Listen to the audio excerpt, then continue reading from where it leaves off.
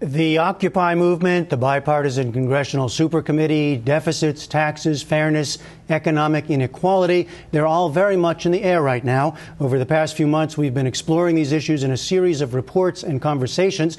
Tonight, we hear from a group that wants higher taxes on itself.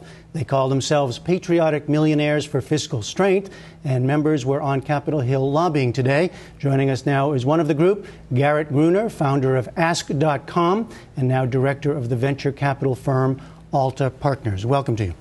Nice to be here. First, I want you to define this group. Who, who are you? How many? And, and, and where do you come? Where do the members come from? These are about 200 folks so far who uh, are, make a substantial amount of money and who believe that the, uh, it's time to roll back the, the, Bush tax cuts. That essentially what we need to do for the, uh, for the sake of the country is to tax folks like ourselves more. And, and is there a consensus on, on how much more when you talk about, uh, you're talking about the marginal rate? That's right. We, are talking about moving back to the marginal rate that prevailed under President Clinton of 39.6% on, in this case, folks who make more than a million dollars a year. What's the argument? Why? Well, simply, first of all, the country needs the money, um, and we think it's the right thing to do.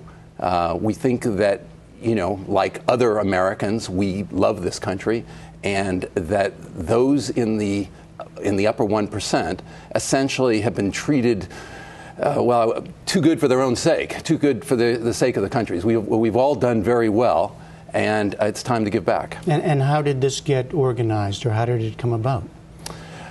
Well, I, I, think there are a variety of people who came together. I wrote an op-ed in the, uh, that ran in the LA Times that um, entitled "Tax Me More," um, and that was certainly one of the strains. But I think a variety of people came to the same conclusion that the relentless desire on the part of the Republicans to push down marginal rates was causing us to have an excessive deficit, which we believe is a big problem, and to underinvest in uh, things that we think are critical for a, a good society. Now, uh, Warren Buffett, the billionaire, famously put this forward a few months ago, and he got a lot of pushback. And we hear uh, uh regularly the argument from many Republicans: you shouldn't raise taxes on those who create jobs. Particularly at a time like this when we need those jobs.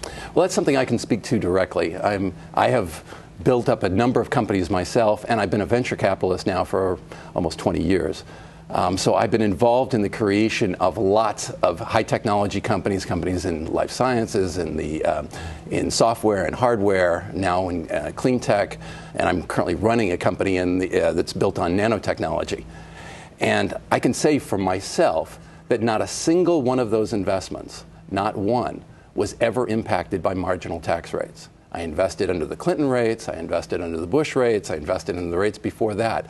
And by the way, in history, the rates were much higher than they are today. But why do we hear that so often from small million, the millionaire class, which is, includes many small businesses? We hear. Why do we hear that tax rates do have an impact on whether they start their business, whether they hire that one extra person? Mm.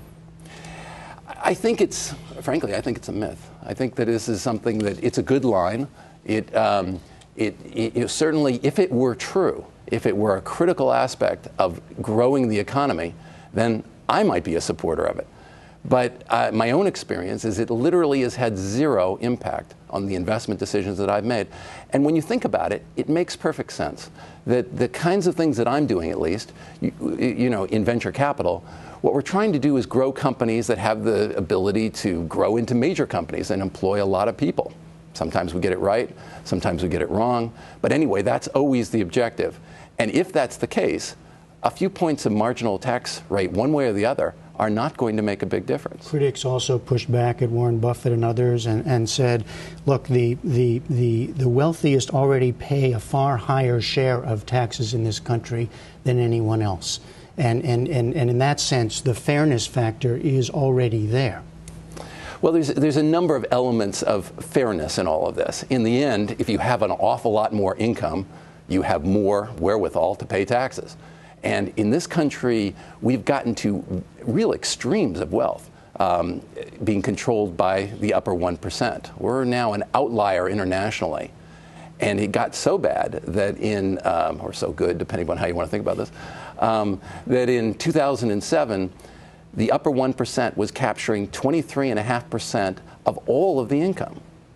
Uh, the last time that had happened was 1928.